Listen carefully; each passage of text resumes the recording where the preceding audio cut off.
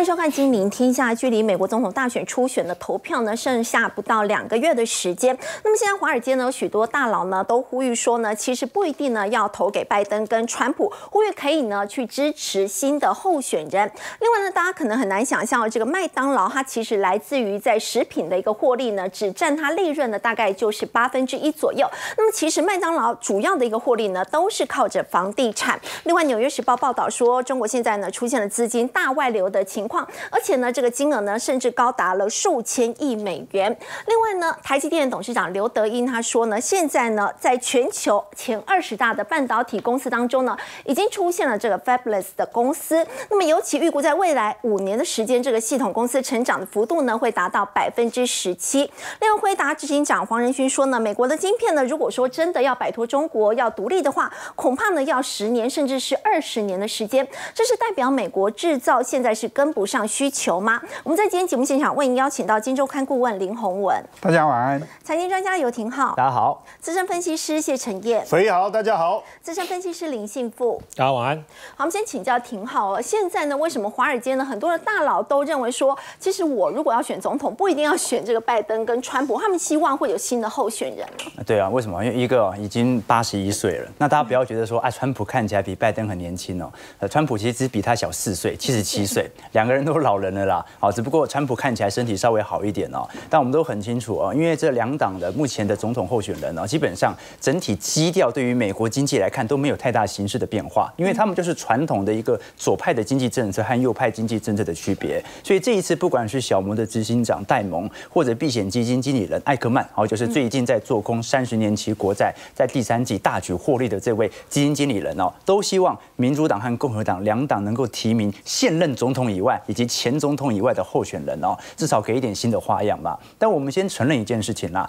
虽然时间线第一离台湾的总统大选越来越近，第二离美国的总统大选越来越近，但是通常美国的政治周期当中哦，不会太为显著的改变股票市场上行的迹象了。我具体来讲哦，我们以美国的名目 GDP 的总额来做观察，基本上从一九三零年代以来，美国股市是隔几年就在一个创高格局啊，所以你才会了解到，不管是川普时期。当时看到一六年到二零年，或者二零年以后，美国股市一直都在一个显著的冲高格局。其实，在川普的话，他过去是大打经济牌哦。其实经济差是不是在他任内是真的表现不错？有人觉得二零一八、二零一九，当时如果跟其他很多国家相比的话，美国的经济表现的确是比较亮眼。对啊，一八年美洲贸易战，哎，结果 人家都说贸易战最后加税会加到自己头上啊，结果它造就的反而是我们观察到的就业回归。而且呢，在二零二零年海量货币宽松之后啊，在川普任期内啊。美国股市创下历史新高了。嗯，那在整个二零二一年拜登上任之后啊，股市是持续的冲高。虽然在二二年经历过一定程度的熊市修正哦，但是今年又在持续的挑战回前高了嘛。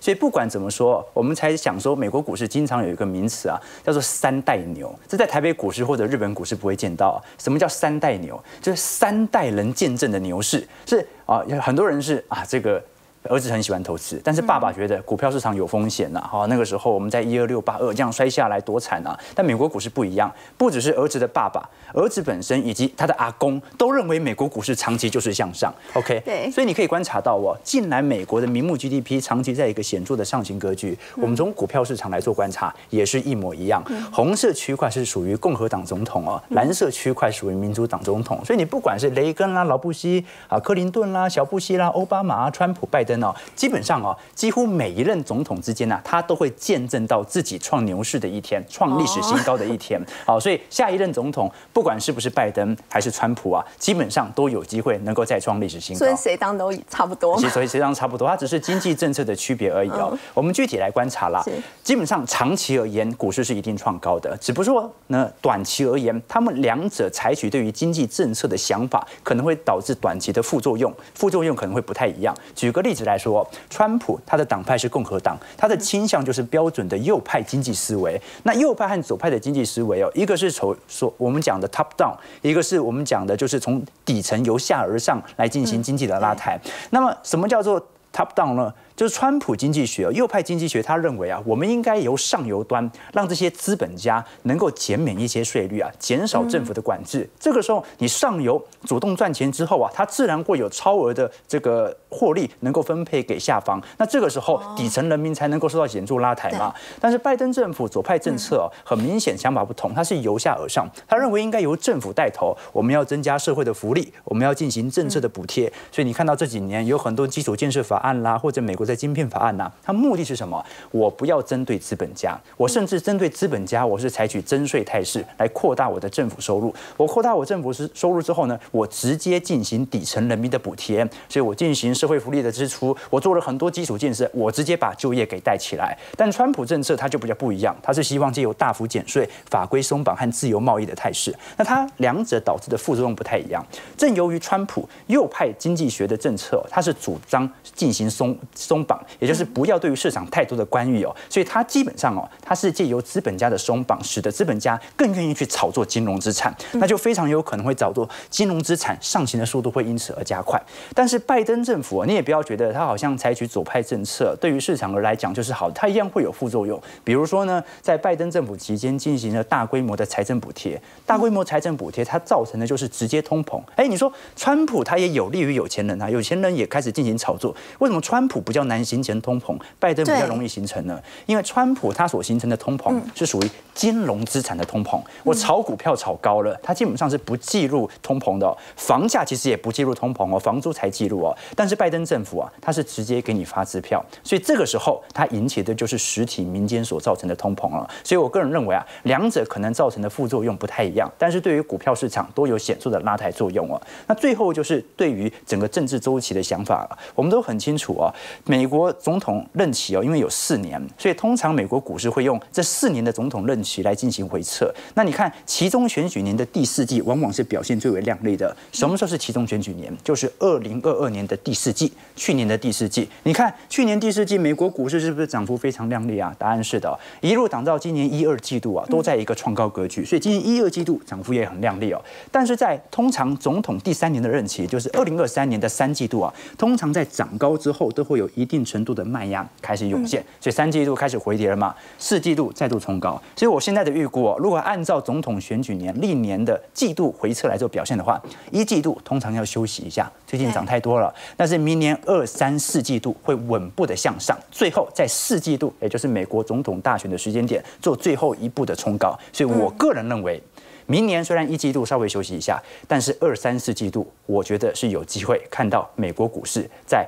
拜登任期内再创历史新高的。好，股市再创历史新高。不，另外就是大家也还是很关注的，就是这个通膨，那么还会不会升息这样的问题？在先前一连串的这个升息，为什么对房地产所造成的这个冲击呢？在美国跟在欧洲表现是两样情哦。欧洲的部分，奥地利的这个房地产的巨头竟然是宣布破产，那么理由是他们这个资金筹措不到。没错，所以基本上很有趣的一个情况啊，就是说我们都很清楚啊，市场呃联总会已经升息超过五百个基点了，所以照理来讲，应该对于信贷市场有。有一点前置的作用。你说消费好像感觉还不错啊，那可能是比较反慢反应吧。可是跟信贷市场、跟利率市场最联动的房地产市场，应该要有非常明显的反应啊。的确，其实美国的房地产市场哦，在过去一整年跟台湾差不多，都是处于高度量缩的情况，没什么人在交易。为什么？现在三十年期房贷利率，美国是八个 percent 啊，那多数人又采取固定利率，没有什么人愿意把利率锁在这么高的区间。但是呢，在量能高速急缩的情况底下。我们就看到了美国的房价在九月份标普席勒全国房价指数啊，年增率三点九 percent，月环比甚至有零点八 percent 啊，什么意思啊？美国房价在今年九月份。创下历史新高喽！哎，这就非常有趣的情况了。因为照来讲哦，市场上都已经没有买气了，为什么房价还能够显著的冲高呢？其实我们还是要区别来看哦。因为美国席勒房价全球房全国房价指数，它主要所统计的权重是属于我们看到的 house，也就是属于独栋别墅的。美国这样一栋一栋的嘛。但是美国其实，在近年来哦，成屋库存大幅攀升的，其实属于 apartment，也就是公寓，有在上升。而现在我们为什么看到美国席勒全国房价指数在攀升？的确，因为美国在 house 独栋别墅的成屋库存还在往下掉。我们具体观察美国的现有的房屋供应量哦，你看当时在零七年、零八年啊，整体呃库存月数是多少啊？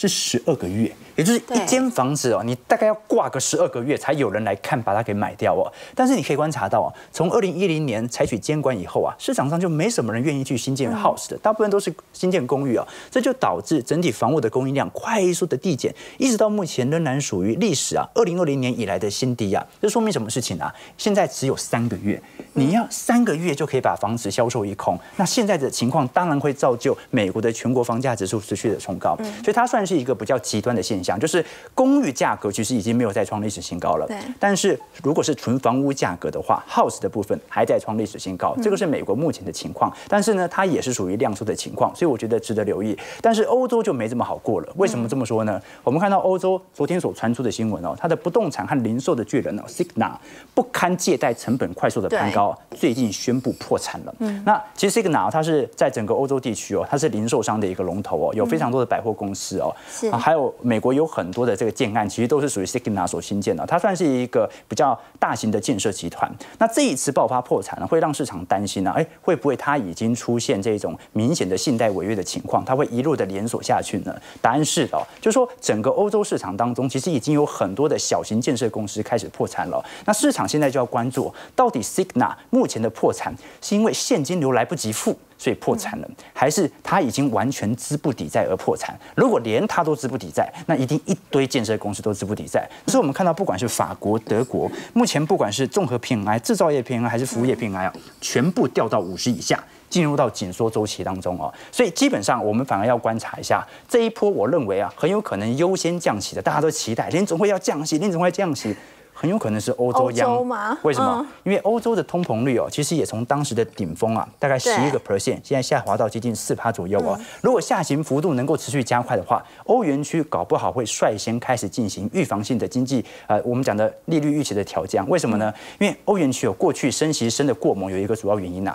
它看的是整个欧洲地区，它不能只看德国，它不能因为一间房地产倒，它就决定要松绑哦，它必须确保整个物价能够持续下行。那我个人认为，物价目前已经在一个显著的下行区间，所以在这种状态底下，这个美国的房市跟欧洲的房市，它其实走的方向不太一样。欧洲的房市甚至比美国房市还要相对危险一点点。所以美国是相对比较健康、健康一点的。所以麦当劳也是因为这样很赚钱嘛，大家都觉得这个麦当劳啊，它应该是靠本业哦，这个食品的部分。但没有想到，他们其实最主要的获利来源竟然是房地产。没错，其实大家都很清楚，麦当劳呃在各国地区啊都有显著的差旗，通常就是麦当劳会设的地点啊，周边都能够引起新一波的商圈啦。嗯，那其实整个麦当劳的食品销售哦，很久以前就已经确定了，就是麦当劳只占麦当劳利润的八分之一而已哦。现在你看麦当劳前三季的租金收益哦，是来到七十三亿美元哦，大概占了总公司收入的三成八左右。所以一间食品公司，它有四成的营收都来自于租金，你就可以了解到，虽然我们都说美国的商用不动产这几年过得不太好，啊不是不太好啊，但是好像整个麦当劳过得还不错，那就要区别到底我们讲的商用不动产的定义为何哦？你可以观察到啊，像美国现在西岸的商办控制率啊。旧金山的部分啊是两成二哦，一百间办公室有二十二间是空着的，五分之一都空着。对，湾区的部分是八 percent 啊，圣地亚哥是八个 percent 啊，洛杉矶十六 percent 啊，像其他下西雅图啦、丹丹佛啦或者波特兰等等哦，我们都可以观察到非常明显的控制率大幅攀升的一个迹象。但是呢，刚才有跟投资朋友提到嘛，现在美国商办控制率显著上行的是集中在办公室的部分，嗯，创下近几年的新高了。可是麦当劳是什么？麦当劳是属于零售型的商用不动产啊，零售型商用不动产还有一些工业啊、物流中心啊，或者我们看到多户型的，也就是住商混合的，目前并没有太明显的飙高迹象。什么意思呢？就是商用不动产当中，目前啊，真正在美国市场当中比较严重的，只有真的是做白领的，其他的商用的不动产、物流中心啊、零售商等等哦，没有想象中来的严重哦。所以在全球的方式当中啊，陆续都已经开始遭受到一些冲击啊。但是只要美国还稳住，就如同我们刚才所提到。的对于股票、对于资本市场的伤害，其实就没有想象中来的高了。好，刚刚田浩我们看到是在麦当劳的一个部分了。那么麦当劳呢，其实在他们的一个金鸡母，最主要是来自于在房地产这一块。其实它反映的也是美国的房地产呢，目前来看呢是相对还算健康的。不过相较之下呢，中国的这个房地产呢就比较岌岌可危。而且纽约时报也报道说，中国富豪啊，现在已经趁着中国呢结束长达三年防疫清零政策之际呢，把他们数千亿的美元哦，陈业现在呢是。转移出境了，所以他们到国外，他们大买海外的公寓股票还有保险。好，你知道这个部分的金额有多少吗？根据这个《纽约时报》他所统计哦，每个月有五百亿美金呢。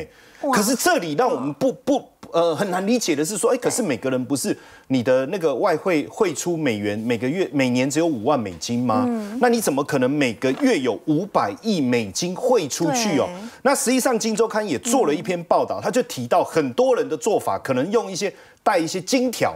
哦哦外币，因为其实如果你金条带的不多，或是你外币带的不多，或是我把它变成珠宝哦，或者是这个这个。呃呃，首饰项链可能还不会被查。那甚至就我知道哈，最近有非常多的这个呃中国民众跑到香港银行去开户，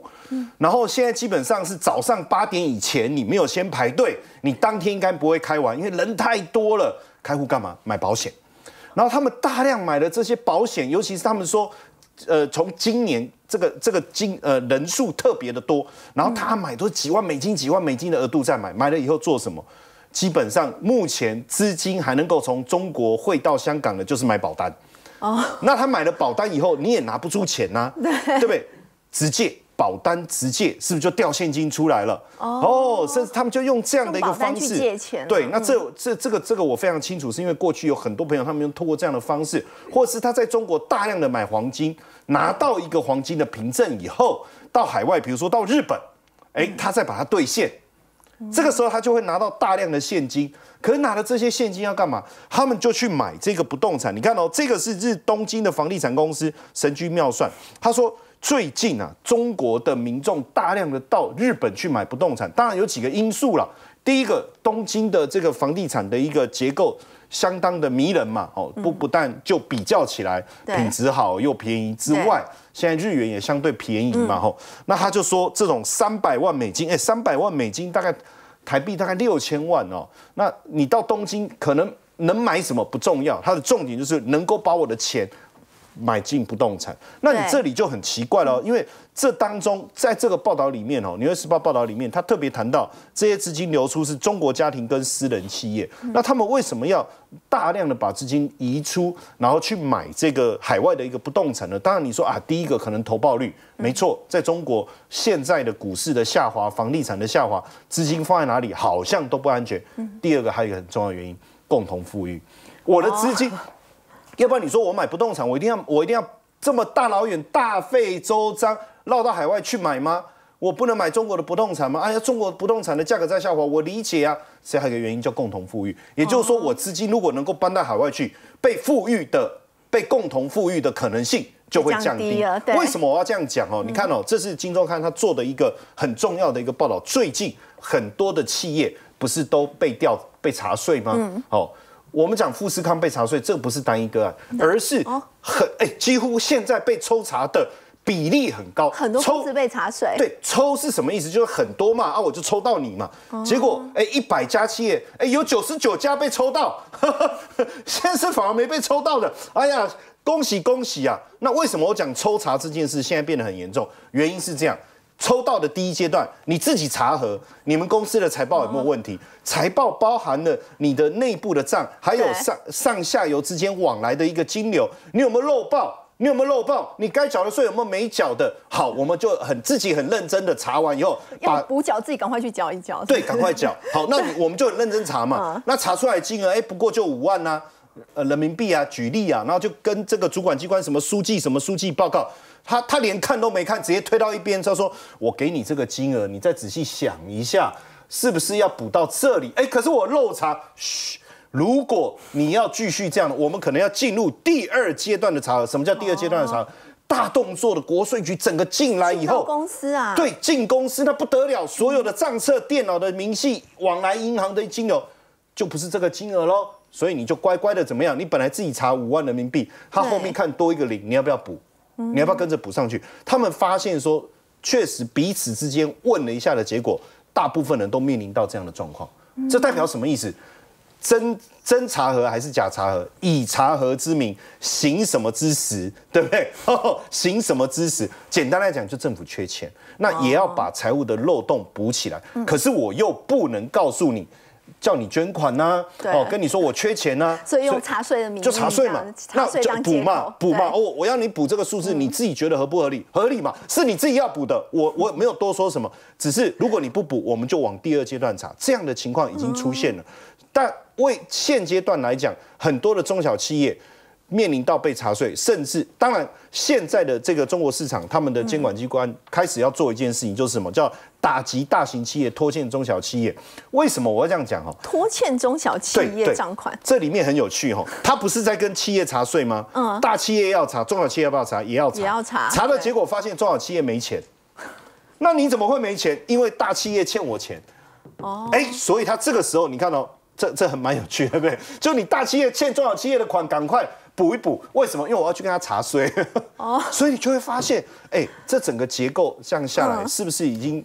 怎么？哎，地方政府的财政问题是不是真的很严重哦？所以很多资金现在要赶快往海外去找出口了嘛，对资金外逃。那刚才你我我我在你刚才问的就是说，你刚才在讲这个投资东京不动产，为什么不投资在自己本国的不动产？哦，其实中国现在房地产的债务五十七兆，快要崩盘了，对不对？甚至我们之前不是讲说这个白名单，那地方债也有高达九兆啊，这个不能报吧？嗯，债务是这样子，只要继续还就没有暴雷的问题，利息付得出来，你都没有拖欠就没问题。可是只要拖欠就会有问题，所以他们现在请银行业伸出援手。可是你施压银行业，等于让银行失血，所以现在银行开始出现面临损失，开始在裁员，所以房地产的问题已经开始外溢了。你看哦，地方很多小型的银行不是都面临到这样的状况，所以他们又做了什么事情？一千五百二十三亿的人民币的特别债。哦，六千多亿台对币，耶可，是问题是还款的问题怎么办呢？最近他们有一个很有趣的哈，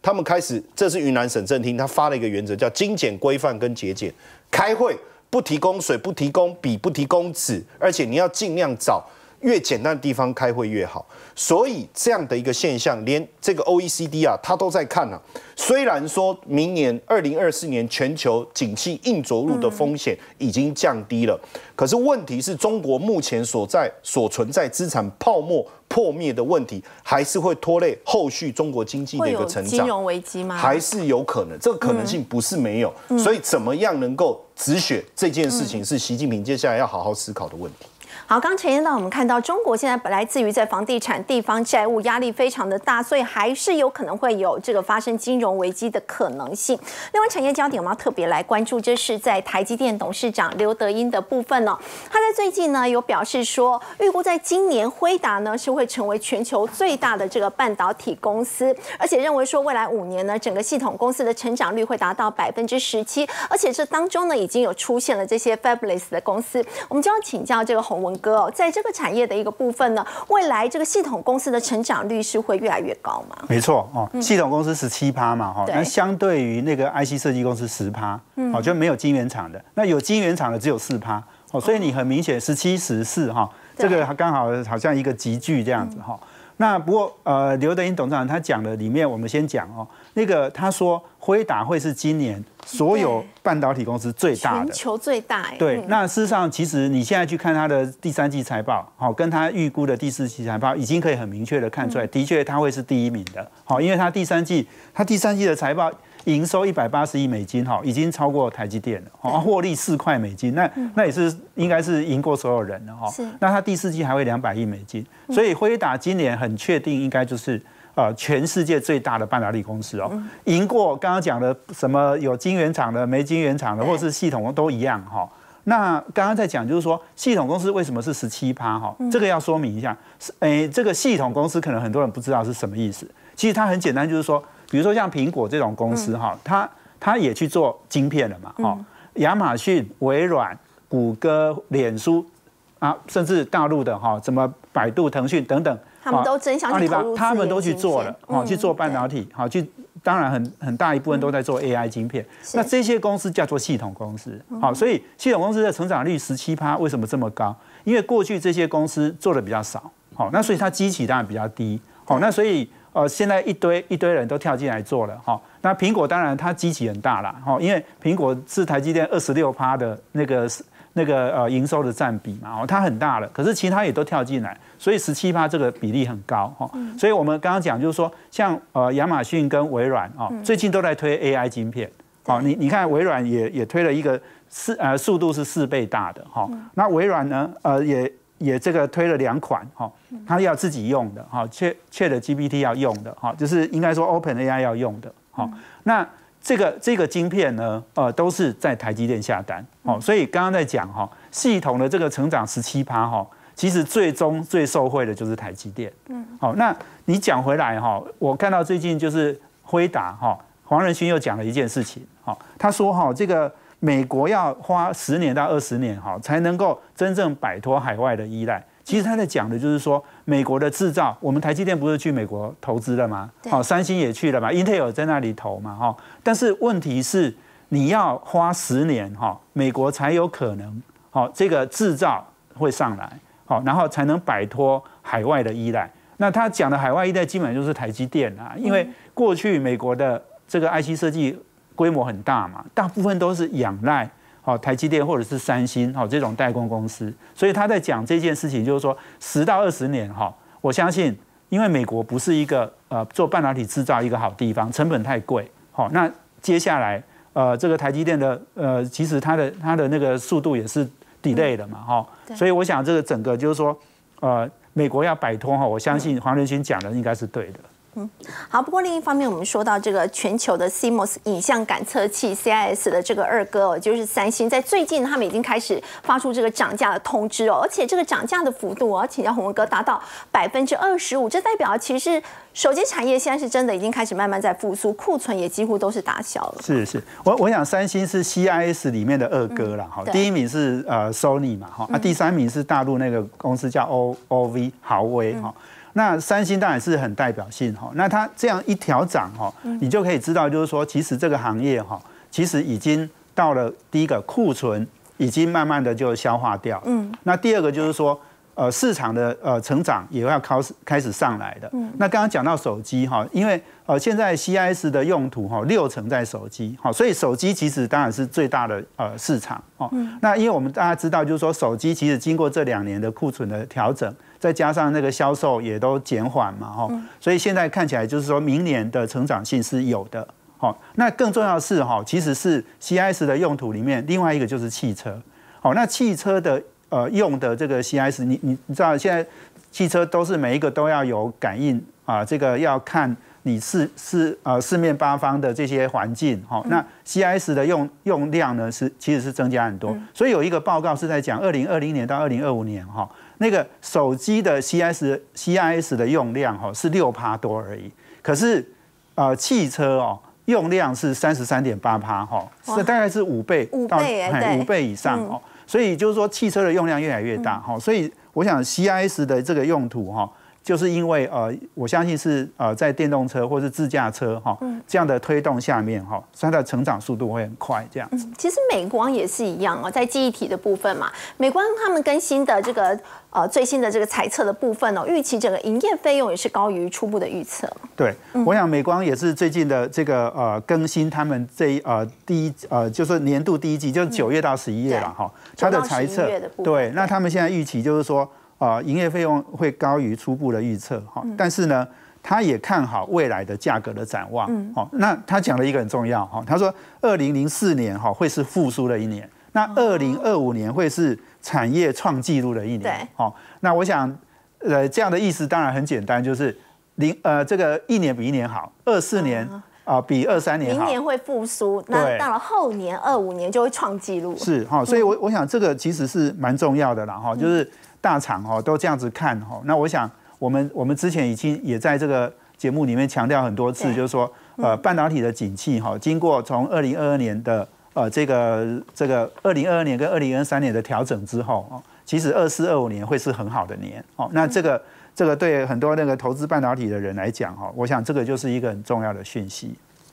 好，在台股的部分，我们来关注的是 MSCI 指数，台股权重呢，在今天就是两降一升，收盘之后呢就开始生效了。不过在这一次，其实权重被调降最多的就是我们的护国神山拳王台积电。但台积电的股价，我们要请教幸福哥，台积电似乎是并没有受到影响哦，在今天尾盘其实还有往上拉高。哦，对哈，其实这一次哦。台股的权重啊，是一升两降哈。不过呢，因为它升的是全球指数哦，它的那个金额是最大的，啊，被调降的是比如说亚太指数哦，那个金额的规模比较小，所以有法人预估哈，虽然是一升两降，但是呢，未来外资啊。要回笼台股的总体金额反而是增加的哦，因为那个 global 哦，全球那个资金的这个部位是最庞大的哈。那台积电今天尾盘虽然它被小幅的调降了零点二个 percent 不过今天尾盘哎，台积电反而是有个大量大概二点七万张尾盘拉了三块钱哦，让今天的指数盘中本来是有下跌哎，最后呢还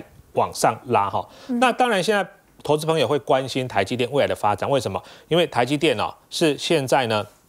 全台湾最多股民的一档公司哦，那其实就股价的表现来看哦，现在大概在五百七到五百八，那我是觉得啦哈，以台积电目前的位阶来看的话，它还是很便宜哦，很便宜。怎么说哈？我这边呢又给大家哈，这个台积电过去五年的本利比河流图哈，那本利比你看到在下面蓝色这边哦，大概就是十五倍左右，十五倍。嗯，那你可以发现哦，之前呢，二零二一年的时候，其实台积电哦，本利比最高有来到接近三十倍。所以呢，十五倍这个区间，十五倍、十六倍这个区间呢，是在历史的一个低档区。那就目前的法人机构预估了哈，今年台积电呢大概可以赚三十一块，三十一点三八，明年呢会直接来到三十七点四五，而且这个不是一家的预估，这个是我们把。最近有出过台积电报告的，大概一二十家的本土的也好，外资的也好，把它的目标价全部做了一个平均，EPS 全部做一个平均，得出来数据。从本益比来看的话，它现在还是相对的低点。呃，就是大概还是十五六七倍了哈。那我想也不要多了，不要说像当年三十倍，我们就用二十倍来乘就好了。所以还有空间。二十乘以三十七了哈，我想这个观众朋友，你手机、计算机自己按一下就知道。当然，我们也不要这么离谱了哈，就是说现在各家研调机构至少给的目标价都是六字头哦，现在五百七、五百八嘛，所以六字头是有机会，只要这个盘哦延续到明年第一季，整个多头的架构还能延续的话，我想其实这个是有机会的。那再来的话呢，最近还有个新闻就是说。大家有没有觉得很好奇？哎，好像景气不错，可是为什么最近哦传出来这个晶圆代工，特别是成熟制程呢，要降价哦，要降价？其实主要几个原因呢，哈，我想应该说前几年因为疫情的关系，所以呢那个时候大家在抢货哦，所以呢造成那个晶圆代工的价格不合理的飙涨。那现在这个所谓的调降，只是因为说把当年不合理的那个涨幅呢，把它调回来一点点，好，这个我想是一个可以接受的哈。那内容我们就不详细述了哈。那以全球。这个成熟市场来看的话呢，其实最大的大概还是台积电了哈，大概有接近三成二十八个 percent，然后呢联电是十三趴，然后其他的话就是中芯，这是大陆的，还有三星等等。那我觉得这种所谓调降，其实对于很多的。IC 设计公司来说的话，是一个利多哦。怎么说？成本降低。哎，对对对对对对，成本会降低哈。因为之前这个这个呃晶圆代工的价格一直涨，他们也是很吃力哈。那现在价格回来了，又搭配明年景气复苏的话，其实对于 IC 设计公司来说，算是还不错的一个资讯。是。那我们简单来看一下啊，比如说我们是以这个十月份哦营收的年增率来去做筛选，就是。至少要正成长两成以上，这边最低大概都二十趴哦，二十趴。然后呢，再把这个累计哦给它列出来，我们就找两档哦个股给大家做一个简单的说明哦，比如说。这个叫宏冠电，好，这个是做类比 IC 的，好，类比 IC 的。其实你可以发现哦，它十月份的营收已经开始回温了，哈，年增率高达三百多个 percent 哦。那现在的股价今天有一个小跳空往上，哦，收盘时候大概涨了三个 percent 哦。不过以 IC 设计来说的话，它这一波并不算涨得特别多的，哦，它离前波高点大概接近九十块，还有一点点距离，哦，这个可以留意。那另外一个呢是叫这个呃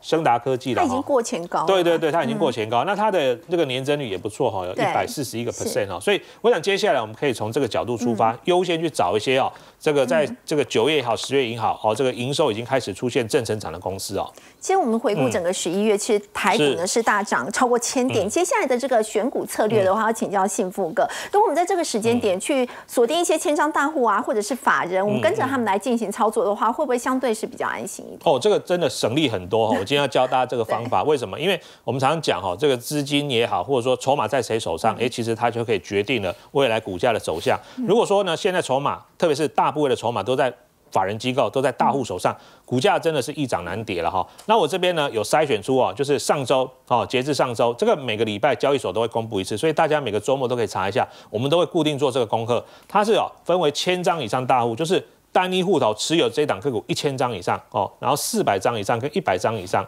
哦，你看能一只股票买到一百张以上，即便它是那个两万块、三万块的股票哦，也是要花两三百万在这一只股票，更不要说一千张以上都是千万起跳的哈。那这代表什么意思呢？代表诶大户非常的积极在布局这一档个股哦，所以你可以发现这边列出来，诶好像最近。股价表现都还不错哈，然后我们还加了一个非常严苛的条件，就是用昨天十一月二十九号哈，外资跟投信还一起买的哦，那就代表这个不只是大户的筹码好，连法人的筹码都还不错哦，还不错。好，那这边呢这张图哈，这边有华泰、新兴、华通、智源、同心电、翼龙、台办、新唐、瑞昱、光照、大力光、环球金，大概呢列举了哦，大概接近十家公司哦，大家就可以自己做个功课参考。那我就简单举几档哈，直接我们来看它的 K 线，还有搭配这个大户的筹码来去做。观察哦，比如说这边哦，这个上周了哈，以华泰来看的话，其实它最近这两三天股价很强呢，哦，到今天已经算是连三红了，哦，昨天跟前天都涨停板，是哦，那前面一段时间你看到人家大户已经连续吃货三个礼拜了，这边千张、四百张哦，一百张、一百张以上，对，因为之前它就是。一涨隔天就开高走低，一涨开高走低，所以散户一定会很没有耐心。所以是散户在买。对啊，你看这个最下面是十张以下的嘛，哈，你看就越越越来越低啊，为什么？对，因为不耐久盘嘛，散户就说啊，这个这只股票怎么这么这么磨人啊，哈，这个都不会涨哦，可是没想到哎，磨了两三个礼拜之后，它就冲出去了哦，因为人家吃货吃够了，人家就开始拉嘛，哈。然后另外一个是这个星星，这个就刚好位阶比较低了，而且它的筹码是最近开始明显的变好哦，所以你可以发现它的千张。哦，四百张、一百张开始增加，然后一样哈，散户开始哦，这个上来他就卖了，所以能不能出现类似像华泰这种，就是第一周、第二周、第三周，哎，开始明显的增加，当然对它未来股价推动的这个呃这个涨势呢会更有利。哦。那最后我们再举例一档是这个细晶圆的环球金了哦，也是一样，你可以发现哦，之前真的好牛、好牛、好牛皮，就在五百五十块这边好像一条线哈，那都不会动，可是呢，人家就是默默在吃货，也是一样，你看哦。一千张，对，连续连续吃货好几个礼拜啊，好几个礼拜。然后呢，散户就是啊，没耐心，动没掉啊，然后没盯没当哈，赶跑去买其他的股票。然后整理完之后，哎，突然哦，在这两三天也开始急拉哦。那前天的话，甚至一度盘中快要拉到涨停板。所以提供这个方法哈，就是大家或许基本面不是这么熟，但是呢，我想法人买大户买一定有它的逻辑，我们就跟着这些大户，跟着这些法人一起呢，如果行情还不错的话，我们就搭着他的顺风车可以去操作。好，我们先休息一下，稍后来看到呢，我们说这几年诈骗诈骗呢越来越猖獗了，那怎么样去防诈骗，帮公司赚进高额的获利呢？我们先休息一下，稍后来了解。